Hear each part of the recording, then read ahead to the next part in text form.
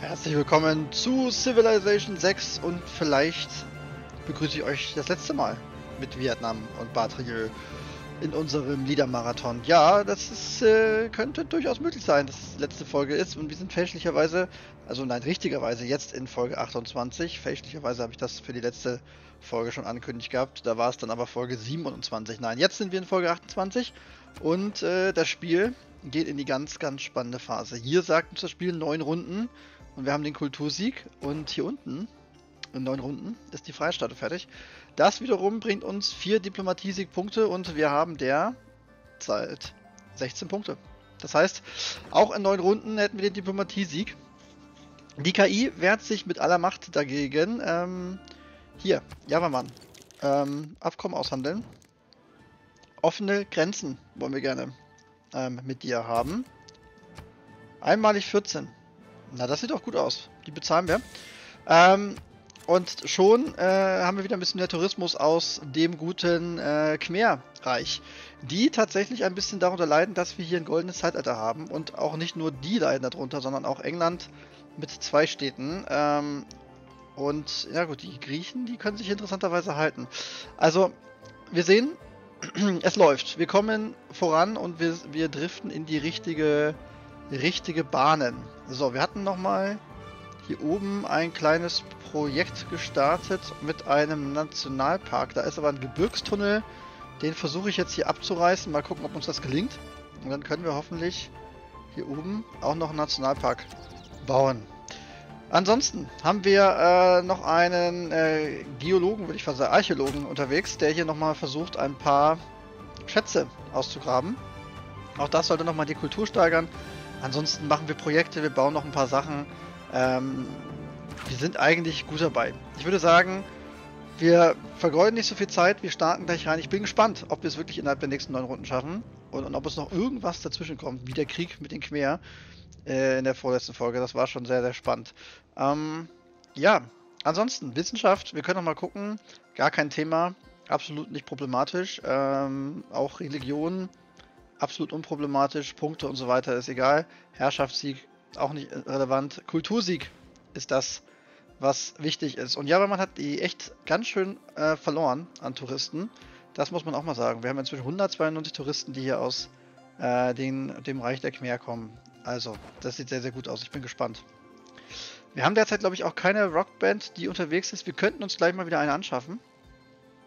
Ähm, die könnte uns noch ein bisschen supporten. Vielleicht wird das ja noch mal ein bisschen helfen. Ansonsten ziehen hier die Missionare fröhlich und ja durch die Lande. Die dürften aber eigentlich auch keine große Rolle mehr im Verlauf der Partie spielen jetzt. Ich ähm, komme wieder. Ja, auch wir haben die Robotertechnik bekommen. Ähm, ich weiß gar nicht, wo uns das was bringt. Ich glaube für unsere Nahkampfeinheiten. Oder müssen wir die, nee, die müssen wir, glaube ich, tatsächlich extra bauen. Egal, was wollen wir kaufen? Wir können hier noch Räucherwerk kaufen. Ähm, für Annehmlichkeiten. Warum nicht? Und Kosmetik zum Beispiel auch noch. Die Khmer bieten uns das an. Ja, dann ganz gerne. Klar. Wir nehmen alles. Alles, was wir kriegen können. Ähm, ein paar Annehmlichkeiten, Luxusgüter für unsere Städte. Wohnraumprobleme wissen wir. Ja. Eure Kultur hat alle bis auf eine Zivilisation überflügelt. Der Kulturzug ist in Reichweite. Das wissen wir. Was sagt er dann? Sieben Runden. Oh, uh, jetzt geht's aber richtig schnell. Jetzt geht's aber richtig schnell. Sieben Runden sind nur noch. Das bedeutet, wir werden den Kultursieg vorher erreichen. Eventuell. So, was, wie geht's weiter? Forschung haben wir natürlich auch noch ein bisschen offen. Unterseeboot, Kampfbomber, ja, alles nicht so wahnsinnig spannend. Nanotechnologie, intelligentes Material. Ja, gut. Ich weiß nicht, was es hier alles noch Spannendes gibt, aber ich würde ganz gerne hier weitermachen.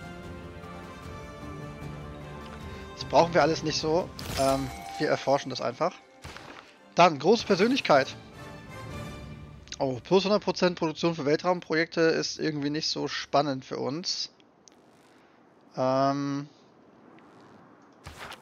wir passen da einfach mal. Ich weiß gar nicht, gibt es überhaupt noch äh, große äh, Persönlichkeiten? Rekrutierung ist nicht möglich. Mal gucken, wer den bekommt. Hier ist noch Musiker und Künstler gibt es noch. Ingenieure, Händler. Oh, Campusbezirke bieten plus 10 Tourismus. Den würde ich ja ganz gerne haben. Aber den werden wir jetzt auch nicht mehr kriegen. Also das, da sind wir schon durch. Ähm, ja, ich würde sagen, das lief doch eigentlich alles ganz, ganz gut für uns. Ähm, wir haben hier noch einen großen Künstler, großer Musiker ist hier. Den können wir mal ansehen. Anton, Antonin Dvorak. Und der spielt aus der 9. Welt, 9. Symphonie. Das ist ein schönes, großes Werk für uns. Wunderbar. Wieder ein bisschen mehr Tourismus für uns. Das ist auch schön. Guck mal, wie lange der hier noch unterwegs ist. Ja, der ist noch eine ganze... Wa uh, warte mal. Die Gebirgstunnel, ne? Schaut mal. Das geht relativ fix. So, Militärpionier, kannst du jetzt den Gebirgstunnel auch irgendwie abreißen? Hm, das wissen wir nicht, ne? Wir werden das, glaube ich, diese Runde nicht mehr erfahren, aber wahrscheinlich nicht. Ähm, ich habe ehrlicherweise, muss ich gestehen, noch gar nicht in die Kommentare von äh, Frank gesehen. Asche über mein Haupt. Ähm, Frank, ich habe gesehen, du hast wieder ganz, ganz fleißig kommentiert. Lass mich mal ganz, ganz kurz nebenbei hier in die ähm, Kommentare schauen. Vielleicht hast du es mir auch schon gesagt, dass Militärpioniere das nicht können. Ähm, ich schaue mal ganz, ganz kurz. Du hast ja wieder einen deutlich längeren Text geschrieben. Äh, ah ja, einmal gebaute Bergtunnel können nicht mehr abgerissen werden. Ich sehe es gerade. Ähm, auf der rechten Seite wäre Athen ein möglich gewesen. Ach, da. Ja, aber da ist Hunza am Weg. Ach, du meinst hier. Ja, das wäre klug gewesen. Ähm, aber so klug war ich nicht. Schaut mal. Wir hätten hier was setzen können. Aber da haben wir natürlich hier die äh, Demonisierung gebaut. Klar, die könnten wir jetzt abreißen, aber das wird wahrscheinlich auch so passieren. Ganz perfekt sind wir nicht gewesen. Wir haben natürlich ein paar Fehler gemacht. Aber wir haben vieles richtig gemacht, auf jeden Fall. Das äh, möchte ich mal an der Stelle nochmal erwähnen. Ähm, alles richtig machen kann man vielleicht nicht, aber wir haben doch einiges, einiges haben wir doch richtig gemacht. So. Dann, ähm, ja, Geothermiekraftwerk möchte ich ganz genau nochmal bauen hier. Gibt das nicht eigentlich auch Zeitalterpunkte, dass man das baut? Ich weiß es gar nicht. Ähm, ja, und ansonsten brauchen wir eigentlich nicht mehr viel. Wohnviertel, Wohnraum brauchen wir nicht wirklich. Forschungslabor vielleicht noch. Ja, wir nennen das mal Forschungslabor. Wir werden jetzt einfach noch ein paar Sachen bauen, die uns irgendwie noch offen geblieben sind. Hier die Universität. Ja, hier könnte das Season tatsächlich nochmal helfen. Ja, das sind Einheiten, die wir derzeit nichts machen können. Die würde ich ganz gerne mal zum Heilen schicken hier. Kannst du auch mal heilen. Ja, das ist natürlich jetzt doof mit dem Naturforscher gewesen. Können wir uns wenigstens nochmal eine Rockband leisten? Ah, 1600 nächste Runde. Wer weiß, ob die noch zum Einsatz kommt. Freunde. Spion. Ähm, ja, in Tanglong natürlich gegen Spionage. Ah, warte mal. Wir haben hier noch den... Ja, doch, gegen Spionage bitte. Hallo? Achso. Und, ähm... Beschützt den Stadtzentrumbezirk? Ja, wahrscheinlich, ne? Das ist das mit den... Mit dem Neutralisieren der Gouverneure. Apropos Neutralisieren der Gouverneure. Können wir denn eigentlich... Ja, guck mal, Pingala wieder einsetzen. Ich wollte gerade sagen, theoretisch müsste das ja auch wieder möglich sein. Und dann gehen wir einfach mal in die nächste Runde. Ja, ähm, außerdem hat Frank übrigens noch kommentiert, das sehe ich gerade, dass der Friedensschluss mit den Khmer zwar teuer war, aber sehr, sehr sinnvoll. Ähm, das beruhigt mich ein bisschen. Ich hatte da ein bisschen Bedenken, ob das wirklich so sinnvoll war. Aber ähm, das war dann doch wichtig, dass wir das gemacht haben. Das äh, beruhigt mich. Ähm, er hat dann auch den Tipp gegeben, das habe ich nämlich schon gelesen, dass man eben nochmal den äh, die Freundschaft wieder aufbaut, beziehungsweise offene Grenzen vereinbart, sodass die Leute eben da auch mal durchreisen können. So, wir hatten irgendwo anders noch beim Platz, da in Argos. Wir schicken den gleich nochmal in eine andere Stadt. Nach Argos. Dann können wir Diamanten verkaufen. Boah. Und Baumwolle. Ja klar, machen wir doch gleich direkt. An die Zulu Kultursieg steht bevor noch sieben Runden. Also das hat sich jetzt gerade nicht verändert. Aber es ist jetzt relativ stabil, das muss man auch dazu sagen. In sieben Runden noch die freie Statue. Äh, Einkaufszentrum natürlich. Wir wollen auf jeden Fall noch ein bisschen mehr Tourismus generieren, wie auch immer wir das hinkriegen. Ähm, Außenverteidigungsreparatur könnten wir vielleicht auch mal machen. Ist nicht. Ja, doch, können wir vielleicht mal machen. Ähm, ja, wir machen nochmal ein, ein Tourismusgebiet hierhin. Sehr schön. Komm, Handwerker, bevor du gar nichts zu tun hast. Ähm, wie wäre es nochmal mit einem paar Ski-Resorts? Den hatten wir nochmal auf Pump da. Den brauchen wir jetzt nicht. Ja, das ist natürlich echt ein bisschen verloren da. Guck mal, dann bauen wir hier einfach keine eine Festung. Das ist doch auch was Schönes. Guck mal, schaut mal. Eine moderne Festung. Sieht ein bisschen aus wie ein äh, Gefängnis. Aber gut. Ist ja immerhin auch etwas. So. Hier können wir nochmal ein Windrad setzen gleich. Das mit dem Naturfuscher ist halt wirklich ärgerlich. Dann, wie geht's weiter? Ich wollte nochmal... Gut, Weltspiele ist auch gleich durch in zwei Runden. Da sind wir, glaube ich, tatsächlich führender. Da kriegen wir auch nochmal zwei Tourismus für jeden Campus und einen Diplomatie-Siegpunkt. Das ist auch nochmal eine schöne Sache. Ähm, genau, und wir wollen jetzt auf jeden Fall noch den, äh, die Rockband kaufen. So, ähm, ja, und äh, Frank greift übrigens in seinem Kommentar auch nochmal ein äh, ganz tolles Thema auf. Und zwar äh, wäre die Freiheitsstatue jetzt ja direkt, direkt fertig wie unser Kultursieg. Und er hat, tatsächlich recht, ich würde es jetzt ungern irgendwie, also ich würde es nicht so schön finden, wenn wir jetzt tatsächlich durch Diplomatie gewinnen, sondern fände es tatsächlich schöner, wenn wir, ähm, wir nehmen Gorgo. Oh, antikes Artefakt. Ähm, wenn wir durch, durch, äh, ich sag schon, durch den Kultursieg gewinnen, weil das wäre irgendwie das, worauf wir die ganze Zeit gearbeitet haben. Jetzt am Ende durch Diplomatie zu gewinnen, wäre irgendwie ein bisschen schade. Aber das sollten wir eigentlich hinbekommen. Also, eigentlich in Anführungszeichen. So, fremde Stadt gewinnt Unabhängigkeit. Mal wieder hier. Und auch Birmingham sollte gleich in Unabhängigkeit fallen. Das wird natürlich auch Einfluss auf alle ich anderen denke Städte nie drumherum. an die Zukunft. Sie kommt schon früh genug. So, wir haben eine Zukunftsausrichtung. Gibt äh, Gouverneurtitel und äh, 50 diplomatische Gunst. Hier wollen wir, glaube ich, nichts ändern. Das haben wir alles gemacht. Wir werden das auch weiter erforschen. Den äh, Gouverneurtitel holen wir uns natürlich nochmal. Da können wir... Tja, was haben wir hier noch? Hafenmeister. Ähm, das wäre natürlich auch nochmal schön mit, den, mit dem Goldbonus hier. Mm, ja, Puppenspieler. Das ist natürlich auch nochmal krass. Hab ich glaube ich auch noch nie gemacht. Machen wir einfach mal. So, Gewürze. An Shaka natürlich. So, die Rockband ist natürlich wieder ähm, auf dem Weg hierhin. Wir können die auch jetzt schon... Nee, das geht nicht mehr. Wir haben nicht die zusätzliche Bewegung. Rival rivalisierende Pantheons nehmen wir natürlich. Und die Beförderung, ähm, Wundergeländefeldern. Okay, das mit der... Wir nehmen das mal mit der Fortbewegung, dann ist es ein bisschen schneller. Das ist auch okay. So, glauben, wir können Apostel kaufen, das lassen wir. Kultursieg ist in Reichweite, das wissen wir. Wir haben ja noch jetzt wieder neun Runden. Es ist äh, stagnierend. Ich glaube, wir nehmen dann im Zweifel tatsächlich den, äh, den Diplomatiesieg. Ähm, die KI hat uns da sozusagen den Weg bereitet dafür. Hier nehmen wir weiter die Zukunftstechnologien, da machen wir nichts weiter. Das ist in Ordnung. Und hier möchte ich ganz gerne nochmal ein Skiresort errichten. Wir sollten das tatsächlich einfach nutzen, dass wir es können. Genau, hier nochmal ein Windrad. Dann haben wir das auch. Und äh, ja, wir können natürlich Theaterplatzfestivals machen. Wäre wahrscheinlich vielleicht sogar eine ganz gute Alternative. Ähm, ich sehe sonst auch weiter keine Gebäude, die wir irgendwie bauen wollen. Äh, dauert vier Runden, bringt uns vielleicht ein bisschen was. So.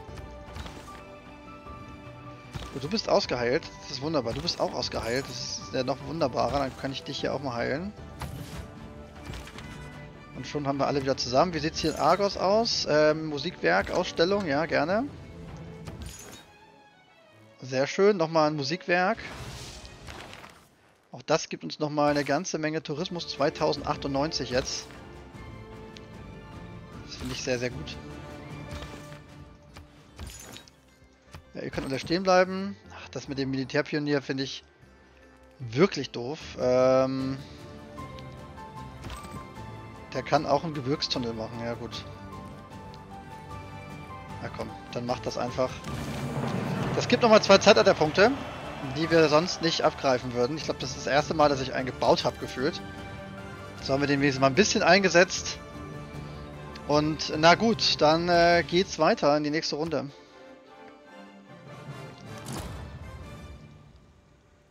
Oh, wir haben noch mal einen Wunderbau. Basilius-Kathedrale. So ganz kurz vor Schluss nochmal der Bau eines Weltwunders. Ähm, wer hat den denn gebaut? Gorgo, okay.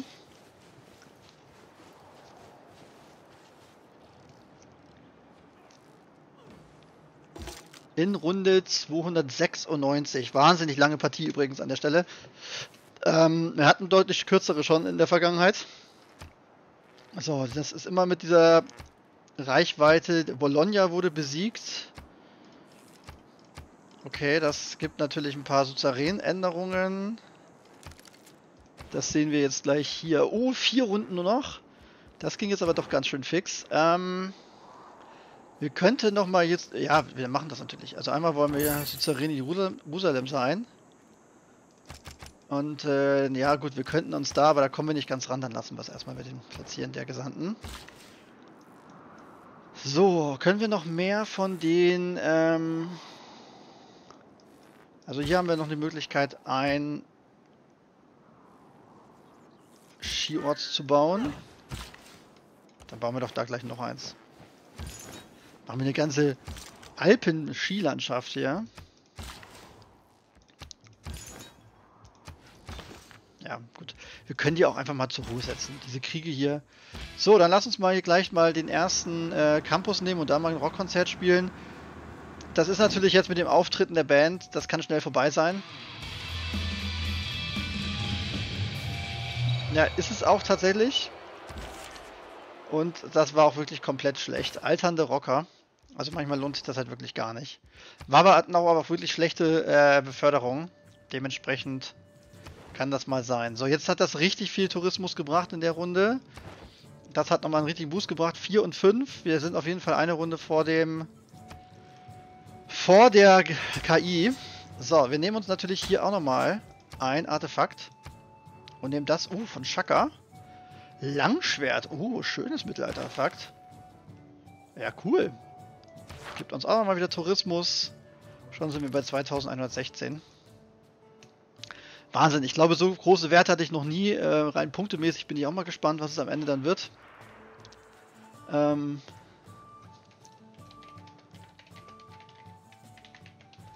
Mal gucken.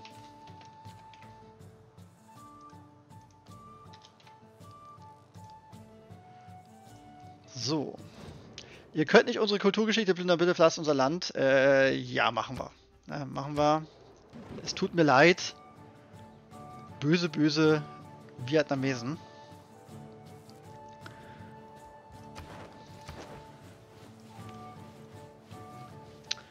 Mal gucken, ob, wir es noch vor Runde 300 schaffen. Da bin ich auch mal gespannt. Gleich 297 und vielleicht schon der Sieg. Es ging jetzt relativ fix gerade. Es kam jetzt gerade so eine richtige Touristenwelle in unser Land. Ähm so, der Wettkampf ist abgeschlossen. 50 diplomatische Gunst und äh, wir bekommen tatsächlich zwei Tourismus für jeden Campus. Das ist natürlich eine coole Sache. Das gibt uns auch noch mal ein bisschen mehr einen Diplomatie-Siegpunkt. Dann haben wir der, deren jetzt 17. Das sehen wir als auch hier. Und wir haben in drei Runden gewonnen, Freunde. Und auch in der Diplomatie sehen wir 17 von 20 Punkte. Und guck mal, wie das runtergegangen ist. Also krass, wie wir den dann doch, doch irgendwann an einem gewissen Punkt übertrumpft haben. Und das hat wirklich gedauert. Aber es hat sich nochmal richtig gelohnt, das durchzuziehen. Ähm, ja, wir haben ja schon alles gebaut, ne? Da ist auch gar nichts mehr, was wir jetzt bauen können. Was gibt es denn hier noch irgendwelche spannenden Sachen? Äh, Kohlenstoffrückgewinnung, Manhattan Project. Nein, das brauchen wir das nicht. Theaterplatzfestival, das finde ich noch ganz nett. So, in Sheffield haben wir bestimmt nochmal. Ach, guck mal, da können wir noch ein Zoo bauen. Cool. Aquarium. Dauert 21 Runden, aber bauen wir natürlich gerne. Ich bin sehr gespannt. Ähm, dass wir das jetzt hier noch geschafft haben, finde ich schon irgendwie sehr, sehr cool. Haben wir noch irgendwo, jetzt müssen wir mal sowieso große Werke ansehen. Wir haben jetzt noch Plätze für Produkte natürlich, das hätten wir auch machen können, fällt mir gerade ein. Wir haben hier noch einen Platz für ein Kunstwerk, das ist in, im Kunstmuseum in Kon Kuong. Und hier im Kunstmuseum in Sheffield haben wir auch Plätze. Wo? wo? Ach so, und das ist ein Schriftsteller, ne? Kein Künstler. Ah ja, okay, Schriftsteller haben wir natürlich nicht mehr. Ja, dann ist das auch egal. Dann kann der da auch stehen bleiben. Handwerker, ähm, einmal bitte dahin. Wir wollen äh, noch ein Skiresort. Ah, ich sehe gerade, man kann hier anscheinend auch nur jedes zweite Feld nehmen. Cool. Also nicht direkt zwei nebeneinander bauen. Auch gut zu wissen. Da kann er eigentlich auch nochmal dahin. So, und du möchtest, dass wir nicht weiter Sachen von dir ausgraben. Tut mir leid, aber die sind so nah dran und ich möchte eigentlich ganz gerne. Wir nehmen auch das von Gorgo. Guck mal, eine Mittelalter-Ritterrüstung. Schön. 2179 Tourismus und ah, noch drei Runden. Nächste Runde schaffen wir es vielleicht noch nicht, aber die übernächste vielleicht schon. Dann schaffen wir es tatsächlich noch vor Runde 300. Ist das die Möglichkeit? So, äh, fremde Stadt gewinnt Unabhängigkeit. Das ist jetzt Birmingham wahrscheinlich. Ja, auch Birmingham. Und das hat natürlich massive Auswirkungen hier auf diese Städte. Da bin ich ja sehr gespannt, zu wem die hier rebelliert. Zu England, glaube ich. Und jetzt kommt ein Weltkongress. Das ist natürlich jetzt nochmal interessant. Äh, wir haben 17 Punkte. Wir könnten jetzt einfach gegen uns stimmen, aber jetzt ist es mir egal. Wir nehmen einfach das, was wir gut finden. Handelswege an den gewählten Spieler gewähren dem Absender plus 4 Gold. Wir bekommen eine Handelskapazität. Wir nehmen natürlich uns. Ähm, die Massenvernichtungswaffen aller Spieler werden auf den Wert des Zielspielers gesetzt. Der Zielspieler verliert alle Massenvernichtungswaffen. Oh, krass. Äh, ich weiß gar nicht, gibt es Massenvernichtungswaffen? Für wen wird denn hier gestimmt? Wir nehmen aber einfach mal Java-Mann. Ich weiß nicht mehr, ob der welche hat. Und äh, ja, wir wollen natürlich zwei Diplomatie-Siegpunkte erhalten, aber ich gehe nicht davon aus, dass wir welche bekommen. Das wäre schon sehr krass. Und äh, Klimaabkommen. Ja, das nehmen wir natürlich auch mit. Ja. Wir können hier auch nochmal mehr für Dinge stimmen und hier nochmal eine zweite Stimme einsetzen. Wir werden aber nicht dadurch gewinnen, oder? Das wäre auch krass. Wenn wir jetzt dadurch gewinnen würden, der kommt jetzt ein bisschen zu früh. Handelswege an den gewählten Spieler gewähren dem Abstand plus 4 Gold. Der gewählte Spieler, die Handelswege, das wurde angenommen. Oh, wir hatten auf den Wert des Zielspielers gesetzt. Da wurden wir überstimmt. Wir verlieren zwei Diplomatie-Siegpunkte. Und das dürfte uns jetzt, ich weiß gar nicht. Ähm, wir müssen es mal gucken. Wir können einen weiteren Handelsweg erstellen. Das ist gut, den können wir dann nochmal in Richtung... Ähm, das können wir eigentlich mal kaufen. Hong Kong, einmal bitte Händler kaufen. So, minus ein Diplomatie-Siegpunkt haben wir bekommen aus der ganzen Nummer. Dann sind wir wieder bei 16, das ist ja schon mal ganz gut. Und äh, bei der Kultur sind es jetzt wieder drei, noch drei Runden. Allerdings ist das, glaube ich, noch der Wert von vorher, ja. Okay, das hat jetzt auf jeden Fall nicht sehr viel gebracht. So, dann äh, Händler wurde gekauft, das passt. Wir bauen den Hangar. Ich habe Lust, den Hangar zu bauen. Dann ein Schutzgebiet. Ne, ich glaube, das, das, ist jetzt durch. Wir werden hier einfach auch... Ähm oh, wir bauen nochmal ein neues Produkt. Klar, nochmal ein neues Produkt. Und da bitte das Einkaufszentrum. Und ja, dann haben wir es eigentlich auch. Dann können wir die auch ausruhen lassen. Hier das weitermachen. Ja, den können wir auch ausruhen lassen. Okay, so, 916 Gold, 2050... Oh, wir können uns schon mal wieder eine Rockband leisten. Die möchte ich jetzt gerne nochmal haben. Auf die alten Tage. Drei Runden hier, drei Runden da. Was kommt zuerst? Es bleibt weiter spannend. 2230 Tourismus inzwischen. Ich würde auch fast sagen, dass wir wirklich unaufhaltsam sind, was das angeht.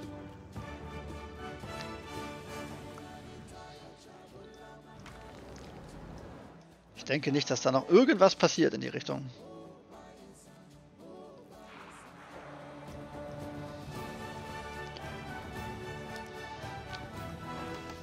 Ah, es ist nochmal eine Runde. Bewegt sich nochmal ein bisschen was. Alle warten und bewegen sich. Es wurde auch nochmal ein Jerusalemer Chaka den Krieg erklärt. Es wurde nochmal ein Krieg erklärt und wir haben nochmal einen Suzerän-Status verloren. Es gab auch nochmal eine abgeschwächte Flut. Viele diskutieren über den genauen Beginn der Zukunft, aber jeder weiß, dass die Entdeckung intelligenten Materials durch Vietnam der Anfang war. Es steigt von der Erde in den Himmel auf und dann sinkt es wieder zur Erde hinab und erhält die Kraft von allen Dingen, ob überlegen oder unterlegen. Also Man kann die Zukunft niemals gemäß der Vergangenheit planen. Und das haben wir auch gemacht. Politiken brauchen wir nicht ändern. Alles gut. Ähm, wir haben Beförderung der Rockband. Ja, du gehst mal hier hin und dann einmal schauen. Die heiligen Fragen. Und ähm, ja, wir nehmen das mit dem Naturwunder und Nationalparks. Der hat ja zumindest einen, das wissen wir ja. Jetzt muss ich mal gucken, wo der eigentlich war. Hatte der nicht sogar? Der hatte doch irgendwo einen Nationalpark. Hier, da ist der Nationalpark, schaut mal. Dann können wir den gleich mal dahin schicken. Der wird wahrscheinlich nicht mehr dahin kommen. So. Äh, noch eine Runde. Dann haben wir es geschafft. In der nächsten Runde vielleicht der Sieg. Das wäre schon wahnsinnig. Cool. So, dann äh, auf 16. Hallo. Ne, wir wollen gerne souverän bleiben. Prognosesysteme. Ja, finde ich auch gut. Offshore-Windparks. Ja, und dann nehmen wir natürlich wieder die Zukunftstechnologien, klar. So, dann Produktion aus den Quang-Tri, ein Forschungslabor. Oh, wir haben nochmal eine große Persönlichkeit, einen großen Künstler. Oh, schön. Wassili Kandinsky. Ja, und den können wir doch tatsächlich nochmal einsetzen. Hier haben wir noch einen Platz frei. Das gibt dann sogar nochmal einen großen Wert. Hat sogar eine Landschaft, ein Porträt und noch eine Landschaft. Ach, schön. Ach, schaut mal. Das ist sogar ein Bild, was man irgendwie erkennt. Also ich habe das schon mal gesehen, auf jeden Fall. Cool. Noch mehr Tourismus. Wir können nicht genug davon haben. Ja, hier wissen wir inzwischen wirklich fast nicht mehr, was wir bauen. Wir wollten noch einen Tarn bauen hier. Schaut mal. Eigentlich wollten wir den hier bauen, den haben wir dahin gebaut. Ähm, wir können den auch noch ausbauen. Bauen wir die Kaserne. Gouverneurtitel haben wir auch noch. Ähm, ja, wir nehmen, glaube ich, nochmal das hier. Dass wir uns Geld und Energie bekommen. Und den Händler schicken wir doch ganz auf jeden Fall hier nach ins Land. Nach Angkor Thom. Genau, in die Hauptstadt direkt. Das ist gut, dann kriegen wir da noch mal ein bisschen Tourismus. Und dann ist das jetzt der letzte Rundenwechsel oder haben wir dann noch einen? Also bis zur Freierstatue dauert es auf jeden Fall noch zwei Runden. Wir haben unseren Suzerän-Status wieder in Singapur verloren. Das sollte aber eigentlich unproblematisch für uns sein.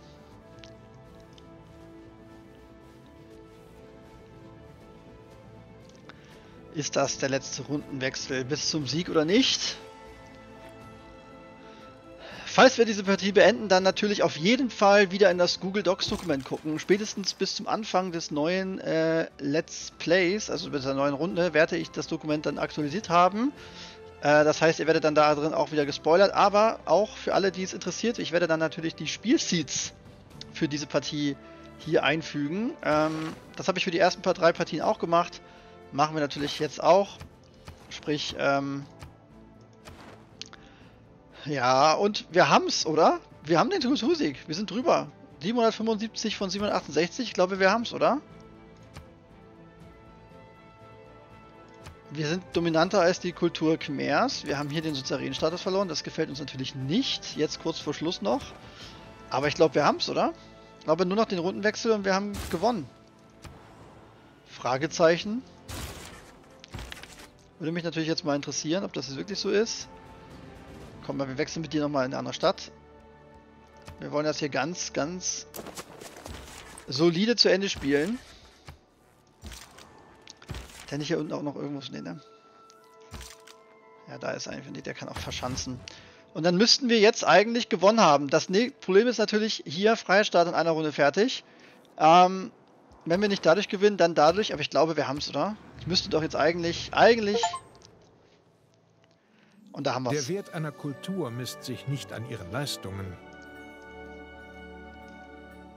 sondern daran, wie lange diese Leistungen währen und in Erinnerung bleiben.